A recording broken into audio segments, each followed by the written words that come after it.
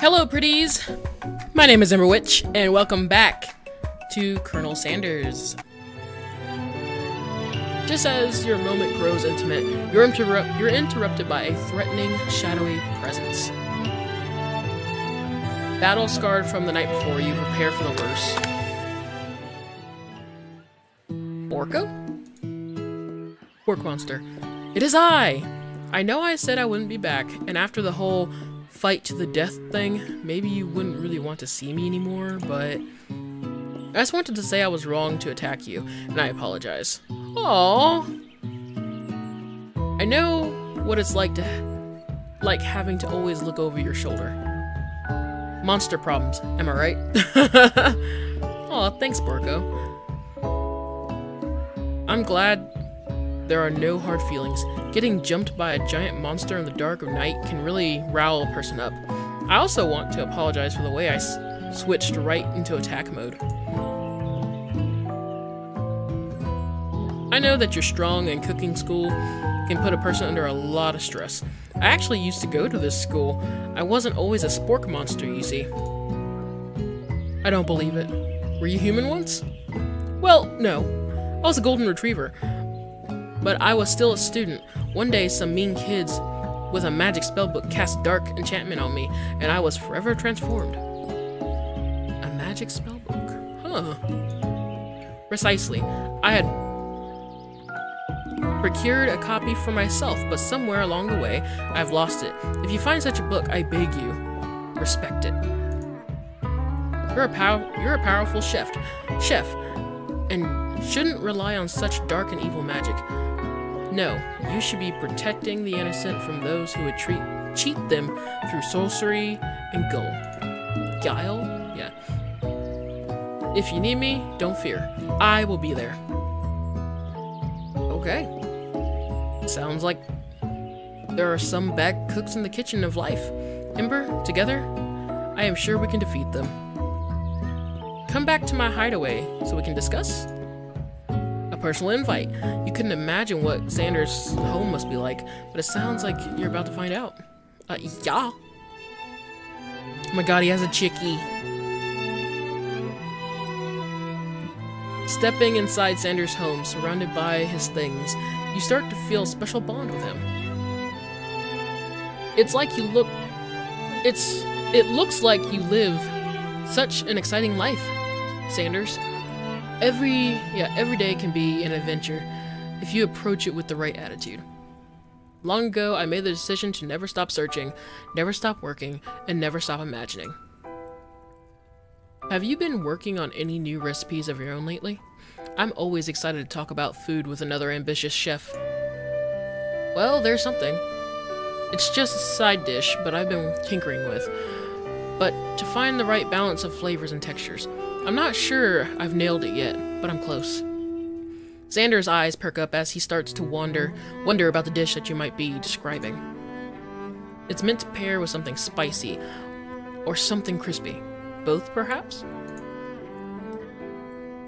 Now that you got him right where you want him, should you reveal your new creation to him? Or keep it a secret, just for you? I think it's the... I think it's gonna be the potatoes. So, I'm probably just gonna tell him. Because it shows that you trust him. So, yeah. Honestly, I just want to end up dating him because I just don't want the Ashley bitch to have him. I any either less, you know, even less. But you decide that you're as ready as you'll ever be to share your original cooking with Sanders. Before you can talk yourself out of it, you decide to dive in headfirst. You reach for your lunch bag with, for a special dish that you have been keeping on ice all day. I present to you my original coleslaw. Of course. The shredded cabbage dish glistens in the light of Sanders' um, eh, hideaway. Magnificent! Together you chow down on the creamy slaw until a spoonful remains in the bowl. Do you mind if I hold on to this last bite? I'd like to say have it around so I can admire its taste later, think back on its moment. Could you offer... You could offer to make him more, but he seems very sentimental kind of guy. Seems like a very sentimental kind of guy. Sure, why not? Please make yourself comfortable. I'll be back in just a moment.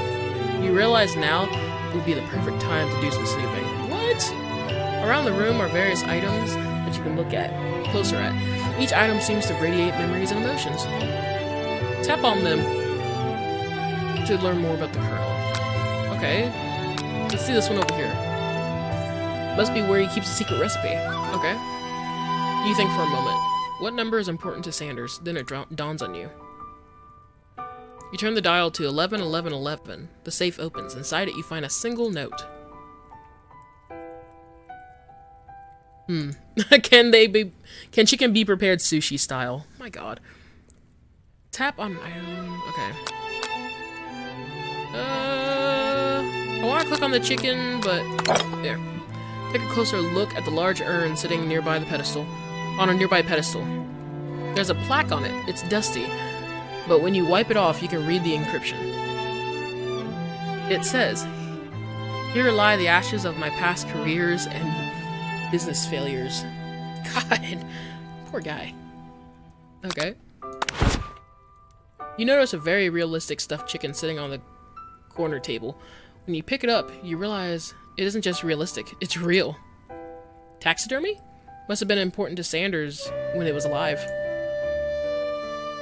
A little note clipped onto the chicken's foot reads, The true state... The, the true state bird of the great state of Kentucky. Oh my god. Oh. Tap on. Okay. I, I want to be nosy. I'm gonna look over here first.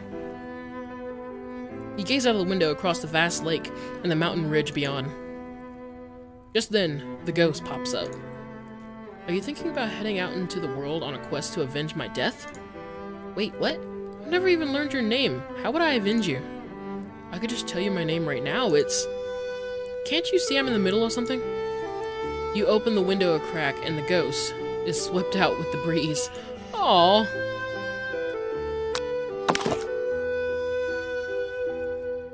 Um, one of the framed photos shows an old man who looks a bit like Sanders, standing with a friend. They hold they hold fried chicken drumsticks and appear to be cheersing with them. That is not what's in that image. Uh, you look closely and you see the short encryption. I wonder who my friend Pete is. Photo appears to be Sanders, except he's an old man visiting the pyramids of Egypt. Maybe that's where he discovered one of the secret herbs of spices. Uh! An adorable little baby crawls on the floor, across the floor. From the goatee and the mustache combo he sports, you figure it must be Sanders himself. Oh my god, poor kid. Or maybe it's the drumstick that seem he seems to be waving like a rattle. Who frames baby pictures of themselves? Probably the same type of person who would make their own face the logo of a company they founded on the right. Oh man. Scented candle. Pick it up and definitely and try to identify the smell. Power tool? Freshly starched color?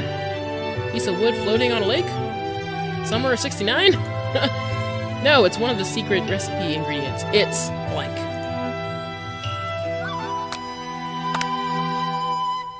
A lock of silver hair is woven through the teeth of the comb. Upon further inspection, you realize that the hair therein isn't just a silvery color. It's actually made of spun silver. Hmm. You open the door to, to Colonel Sanders' closet and find a row of his signature white suits hanging within. You take one off the hanger and try it on. The jacket is a bit big for you, but it's soft and comfortable. You give yourself a deep hug, breathing in his scent. Oh my god. They say that home is where the heart is, is this what they meant? Okay, I'm sorry, but if you're like walking around this man's house looking through his stuff and like putting on his clothes and just like like smelling it, you're a freak. You're disgusting. And you need some therapy. Before you can ah Before you can look any further, you hear Sanders returning. He has a new dish that he has been working on, and he wants you to taste it. You try to act casual, but he asks you why you're wearing his jacket. Aww. I don't usually loan those out, but I must say, it does look good on you. Oh crap, the jacket. You've got to take it off. You fess up, tell him the truth, you decide now is your moment to make your big move. Um, tell him you're cold.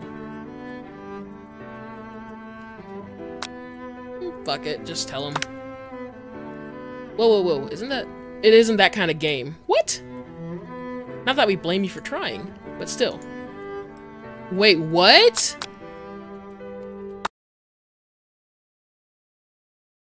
What? I thought this was a dating game. I was gonna tell him my feelings. Unless Big Move is supposed to be something else. Okay. You confess. I think I've developed feelings for you. Really? I might be developing feelings for you too, but I'm concerned. I can't let anything get it get in the way of my dreams. Wow. Overwhelmed, you take off the jacket and run for the door. But the thought of leaving Colonel in the midst of such emotional breakthrough gives you a pause. You stop yourself. Colonel? Hmm. Yes, Ember? I honestly, I honestly think that this may be the beginning of something wonderful. I think you're right. We should take things slow. Wow. You talk late into the night and drift into a slumber. Dream sequence. Okay, that's cool. You wake up to a beautiful morning in Colonel Sanders' hideaway. Do you make the right decision on how to respond to Colonel Sanders? Only time will tell. Today is the day that could change the rest of your life. Your thoughts are interrupted when Sanders emerges from his room, from the room. He's holding a gorgeously plated breakfast, and your mouth waters with the slight, with the sight of it. Here's a simple breakfast I just whipped up. Could have been at least chicken, chicken and waffles. Ridiculous. You taste Sanders' food, and it makes you, and it takes you on a journey. When you return, he's waiting to ask an important question. Would you say that we're a perfect match? How presumptuous. My, cu my cuisine and your taste buds, that is? Oh, God. Such confidence, such grace. Could he be the greatest gift to cookery? eh, sure. You know, I think we might might make a great team. A single tear begins to pool at the corner of his eye as he gazes out the window. Oh my god. And with the right and with the right business partner, know I can't fail. Business partner? Could he be talking to you? It's all happening so quickly. Overcome with emotion and confused by your feelings, you're on the verge of tears, unable to speak. The only word you can only answer you can find is to run out the door and get home. There's still one more day of school after all. The university waits for no one. You get home to find something very surprising. Your best friend is waiting for you. Where have you been? I. Because I have one heck of a night. I've been desperate to talk about it, but I can't, I couldn't find you. I got worried that something might have happened to you. It's okay, I just... But now it turns out you're fine. And I can finally get you up to speed on the saga of Miriam. Sure, but... Will you not believe what happened to me at, after school? You will not believe what happened to me after school yesterday. I went on a date. I think I could believe that. Since I've been partnered up with Clank, he asked me to go out with him. Of course I told him you'd better keep your dials turned to polite and respectful. I'm not that kind of girl. but he just kind of, he's just interested in spending some one-on-one -on -one time together and getting to know me. So I said, yeah, sure, I can get to know a little metallic guy.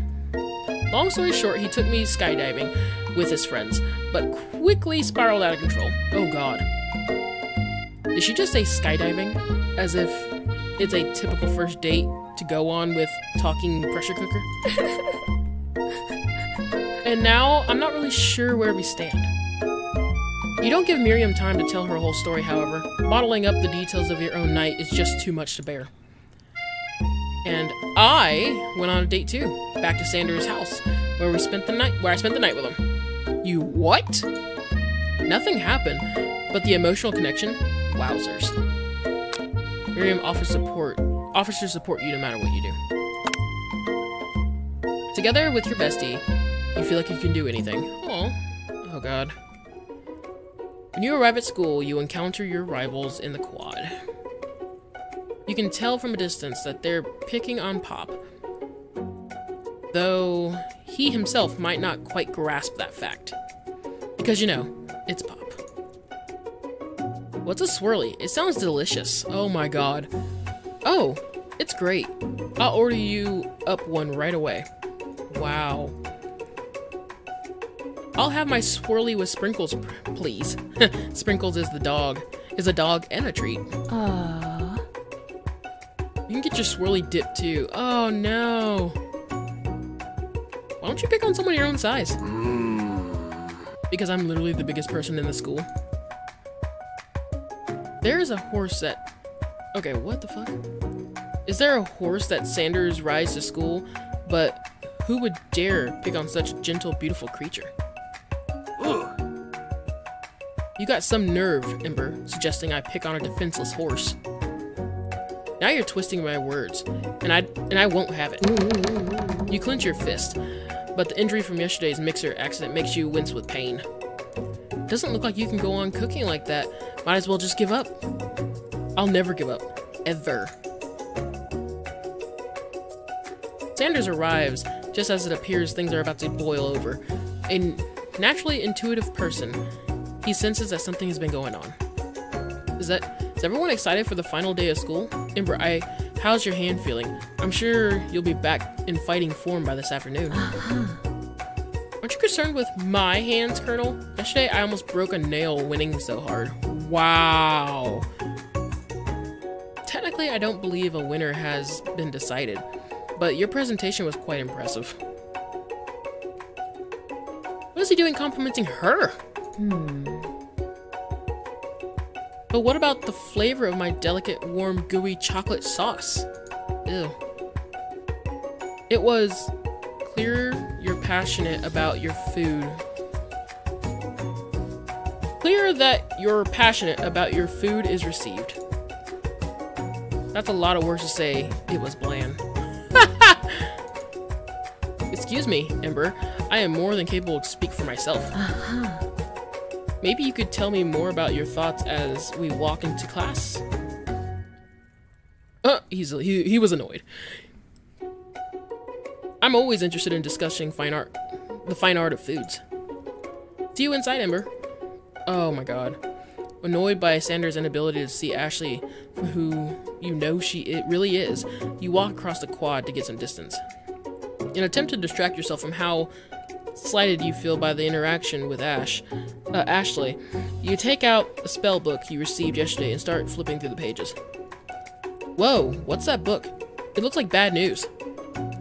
It's just something I found lying around. It would appear to be some sort of grimoire, but I don't really believe in magic stuff. A grimoire?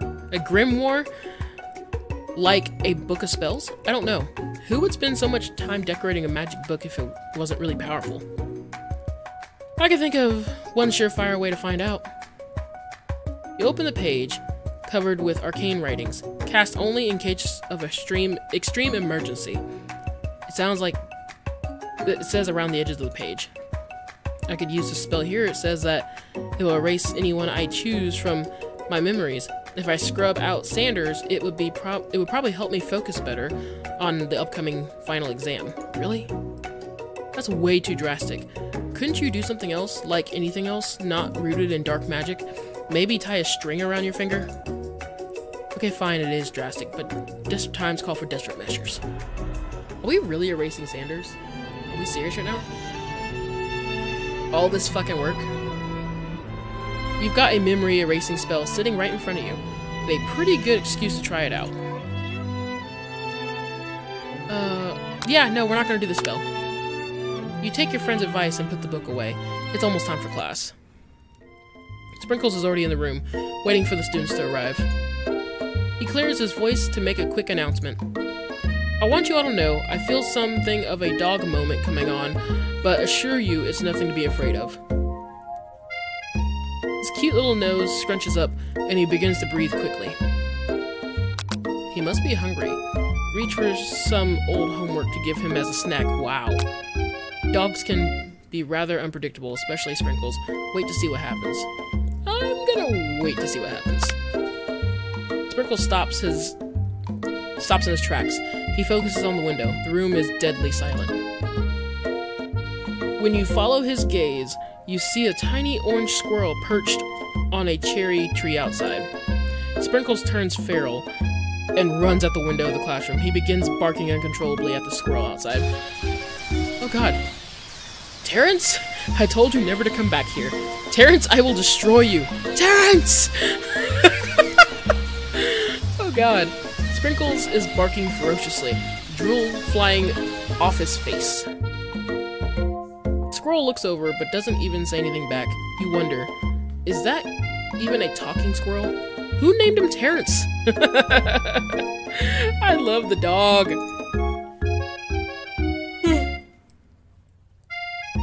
you better not show your chubby cheeks around here ever again. After Sprinkles is satisfied with his presence has been felt his presence has been felt not only by Terrence, but by other by any other squirrel in hearing distance. He returns to his professional tone. I apologize for the outburst. This actually brings me up to an important point. Thank you, Ember, for reminding me to dole out this indispensable bit of wisdom. You see, before he can go any further, Miriam's love drama spills over into the class. Sprinkles is interrupted by whispers and no whir whirs and sparks coming from the back of the classroom. I told you save it for after class.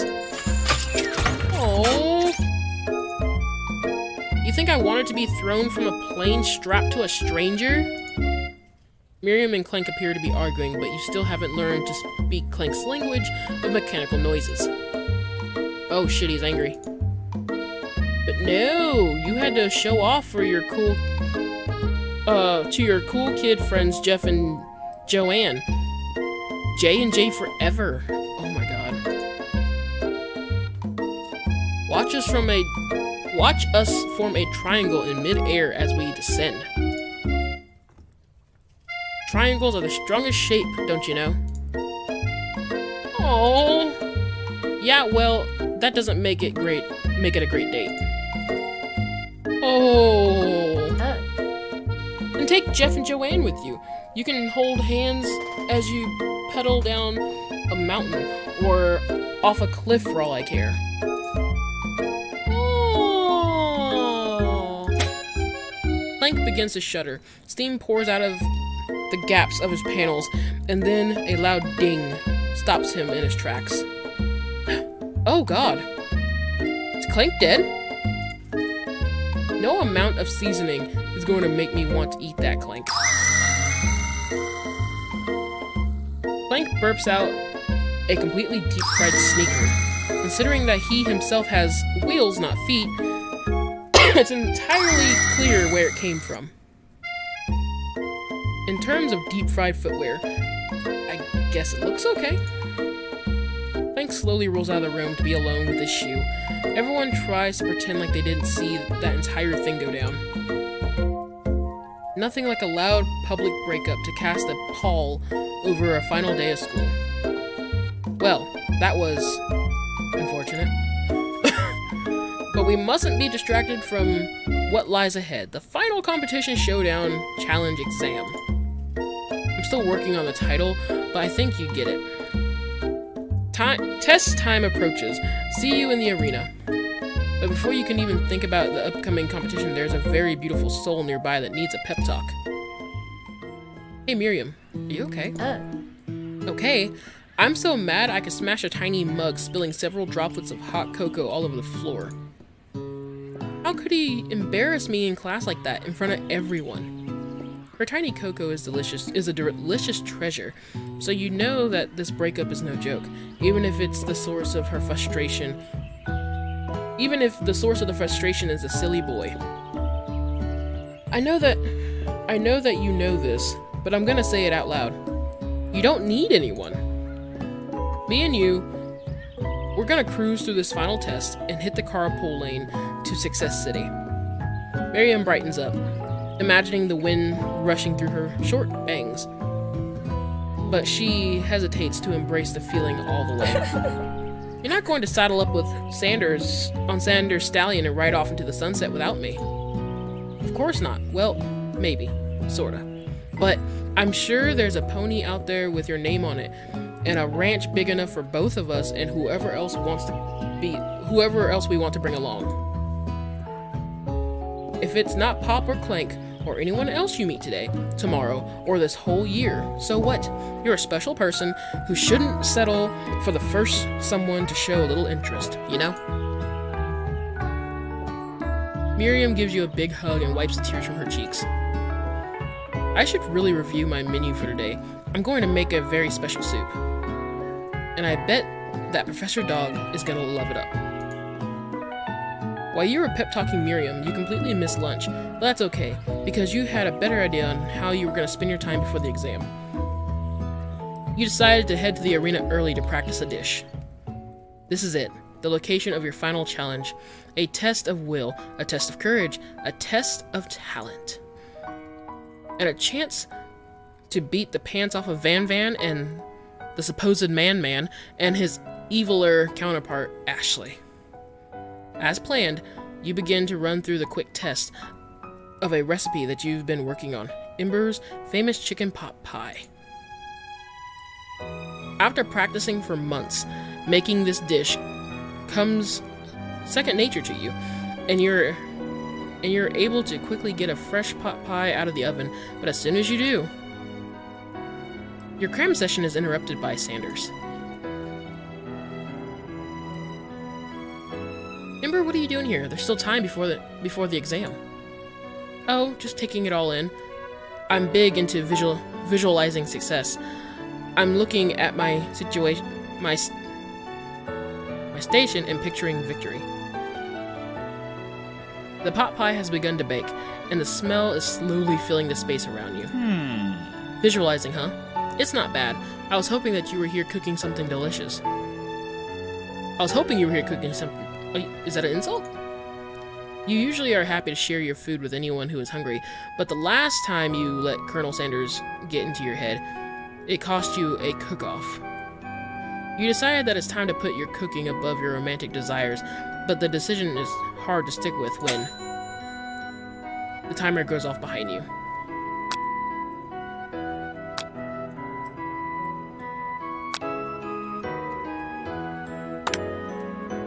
Okay, okay, you got me. I'm doing a little bit more than visualizing. I know. My nose can smell a pot pie for 400 yards. Jesus Christ! It's an oddly specific distance, but you'd expect nothing less from such an oddly specific man. You knew I was a pot. You knew it was a pot pie just from the smell? Not just a pot pie, a chicken pot pie, with all butter crust. And my nose is telling me something else. Oh no, is it burning? Ah, no. I can smell that it was made with a heaping helping of TLC. But it was probably it'll probably start burning any second if you don't pull it out. The moment of truth. Wow. Okay, I love how anime food is drawn because it's so good looking. Just amazing. It's the best pot pie I've ever tasted. I've always loved country cooking and how and I could eat it eat this all day. There's no time left. The final showdown is about to begin. Sprinkles lays down the ground rules. There are no rules. Jesus. That is, except to cook with everything you got. You step up for the cook-off of a lifetime. Alright. I'm sure we're right at the ending, but um, I'm gonna leave it here. So, if you like what you saw, please cast a spell on that like button and don't forget to share and subscribe. My name is EmberWytch, and I'll see all you pretties in the next video. Bye.